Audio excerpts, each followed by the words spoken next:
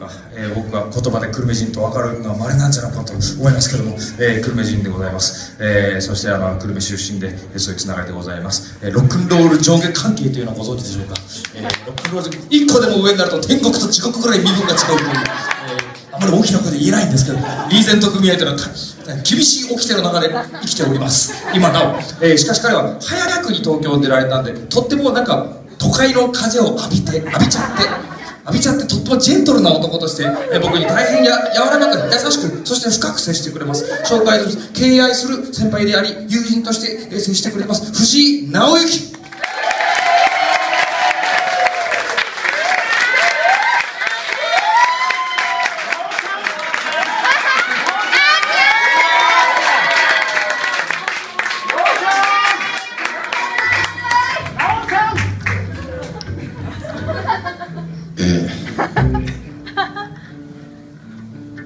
食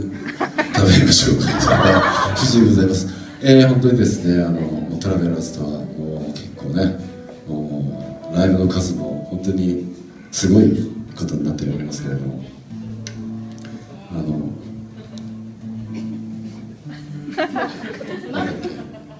また会う日まで。歌って。また日まである時まで別れのその訳を話したくない。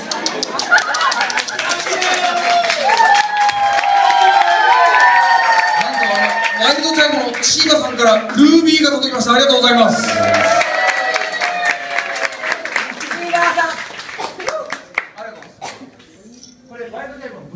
おい。おい